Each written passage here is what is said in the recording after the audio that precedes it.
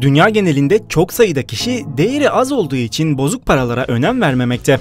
Ama çoğu insanın aklına o bozuk paraların bir araya getirildiğinde değerinin artacağı da gelmez. Bu konuda farkındalığı olan Amerikalı bir adam bozuk paraları sağa sola atmak veya önemsememek yerine biriktirmeye başlamıştır.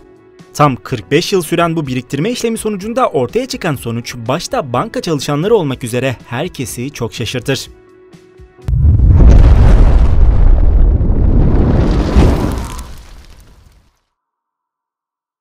Ota Anders adındaki adam 1970 yıllarının ortasında 45 yaşındayken bozuk paraları biriktirmeye başlar.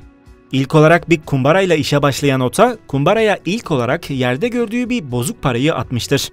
Daha sonra ise harcamalarından artan bozuk paraları ve yerde gördüğü bozuk paraları kumbaraya atan Ota, insanların kendisiyle dalga geçmelerine aldırmadan inandığı şeyi yapmaya devam eder.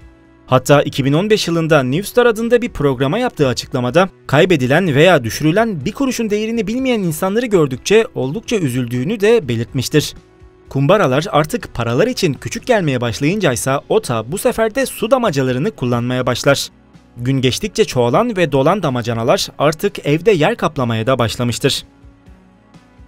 Tam bu anda 2015 yılında ise ev sigortasını ödemesi gerektiğini fark eden Ota, ağzına kadar dolu damacanaları artık bankaya götürmenin zamanı geldiğini düşünmüştür.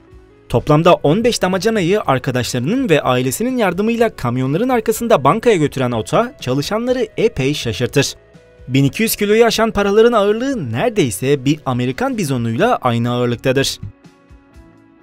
Damacanalar bankaya getirildikten sonra iş paraları saymaya gelmiştir. Neyse ki bu paralar tek tek değil bir makine yardımıyla sayılacaktır. Bozuk paraların ağırlığına ve çaplarının büyüklüğüne göre ayıran ve sayan makine ne kadar hızlı da olsa bu işlemi tam 5 saatte yapabilir.